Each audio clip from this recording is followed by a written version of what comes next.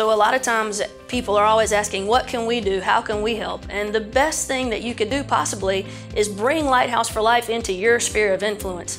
The best way that we ever find ourselves invited into a church, invited into a civic group, invited into even a law enforcement community is by a member of that community taking ownership of the fact that awareness needs to spread and they've got the relationship and the sphere of influence to do so.